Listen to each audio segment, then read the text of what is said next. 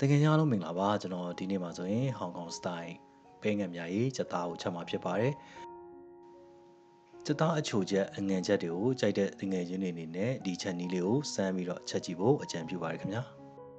ဒီချက်နီးလေးကကြက်ရင်ပုံသားတဲ့ဆိုင်ရင်ကြက်ပေါင်ဒါမှမဟုတ်ရင်ကြက်အတောင်ပန်လိုနေအောင်ပို့ပြီးတော့တင်လျော်ပါတယ်ဟင်းခန့်မွေးကြိုက်လေးနဲ့ကြက်တွန်မိတ်အနေငယ်တကြပိုးကောင်နနက်ပွင့်နဲ့ဂျင်းအနေငယ်လိုအပ်ပါတယ်။ တချပူးကောင်းနဲ့နနက်ပွင့်အောင်ကြတော့တချို့တွေကထည့်ပြီးတော့အချက်လေးမရှိပါဘူးအချိုရတာအတွက်ကျွန်တော်ကတကြားခဲကိုသုံးပါတယ်တကြားအညိုကိုလည်းအစားထိုးလို့ရပါတယ်မရှိဘူးဆိုရင်ရိုးရိုးတကြားကိုသုံးလည်းရပါတယ်ပဲငံပြားရဲ့အကြည့်ကိုကျွန်တော်ကစပွဲတင်စုံ၄စွန်းစာလောက်ထည့်တယ်ပဲငံပြားရဲ့အပြစ်ကိုအနှဲငယ်လေးထည့်ပါမယ်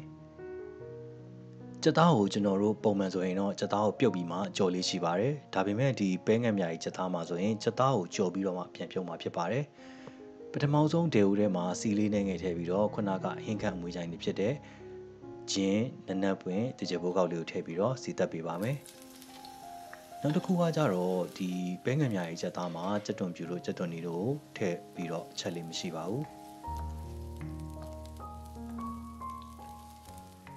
ဂျင်းတွေကိုမှုေးတဲ့အထိစီတက်ပေးပါမယ်ဂျင်းတွေမှုေးတာမှာခုနကကြက်သားတွေကိုထည့်ပါမယ်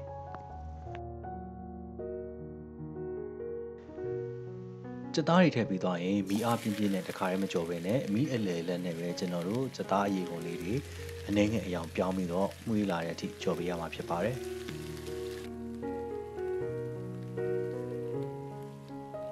အခုလိုမျိုးအနေထားရောက်ပြီဆိုမှခုနကပဲငံများရဲ့အကြည့်တကြားကရေလေးအနေငယ်နောက်ပြီးတော့ပဲငံများရဲ့အပြစ်နဲ့ကျွန်တော်တို့ထုံးထားတဲ့ကြက်တော်မိတ်ကိုထည့်ပါမယ်။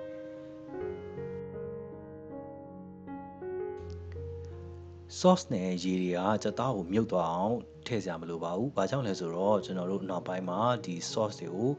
လုံးဝခန်းတဲ့ထီကိုပြန်ချက်ရမှာဖြစ်တဲ့အတွက်ရေကိုစက်သားရဲ့တဝက်လောက်မြုပ်ရင်ဆိုရင်အဆင်ပြေပြီဖြစ်ပါတယ်။နောက်တစ်ခုတတိထားမှာကအဖုံးလေးပိတ်ပြီးသွားရင်မီးကိုအသေးဆုံးလေးပဲထားပေးပါ။မီးပြင်းသွားတဲ့အခါမှာစက်သားတွေကအနေငယ်မာသွားသလိုမျိုးဖြစ်ပါတယ်။အဓိကကျတော့မီးပူချိန်နည်းနည်းလေးနဲ့ပဲခက်ကြကြလေးချက်ပေးရမှာဖြစ်ပါတယ်။ ချက်ထားတဲ့အချိန်မှာဒီအောက်ခြေမှာမကတ်သွားအောင်လို့ဇွန်းလေးနဲ့အနှဲငယ်လေးတော့ဟိုဘက်ဒီဘက်လှန်ပေးပါ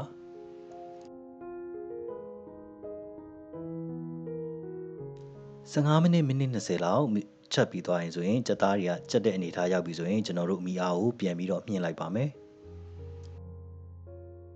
ဒီပဲငက်မြားကြီးကြက်သားတွေကဆိုရင်ကျွန်တော်တို့ရိုးရိုးကြက်သားပြုတ်ထက်ပို့ပြီးတော့ကောင်းတာဆိုရင် သူကစီတွေထဲမပါသလိုနောက်တစ်ခုကကြတော့ဒီပဲငက်မြာကြီးကိုနဲ့ကြကြလေးပြုတ်ထားတဲ့အတွက်အသားထဲမှာအရသာဝင်နေပါတယ်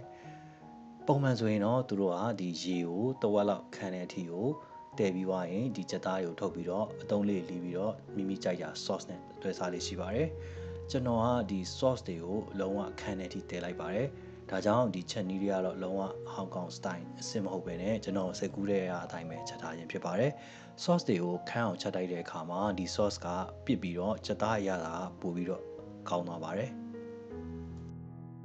ဒီဟင်းဟာထမင်းပြူနဲ့လိုက်ဖက်သလိုအနေပြန်ကောင်းကာစားအလူတွေအနေနဲ့ဆံပြုံးနဲ့အခုလိုမျိုးချက်သားအငန်လေးနဲ့ဆိုလဲလိုက်ဖက်မှုရှိပါတယ် ကျွန်တော်ဗီဒီယိုလေးကိုအဆုံးထိကြည့်ရှုပေးတဲ့တငယ်ချင်းအားလုံးကိုကျေးဇူးထူးပဲတင်ရှိပါတယ်ဗီဒီယိုလေးကိုနှစ်သက်ရင်လည်း like and share လေးလုပ်ပြီးတော့အားပေးသွားပါဦးခင်ဗျာတငယ်ချင်းအားလုံးကျမ်းမာပျော်ရွှင်ကြပါစေ